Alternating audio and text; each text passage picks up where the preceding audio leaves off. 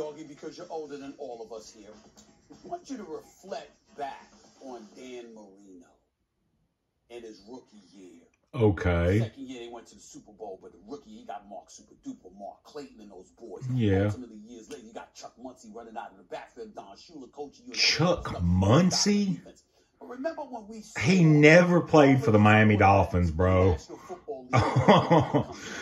Who's listening to this oh, fuckhead?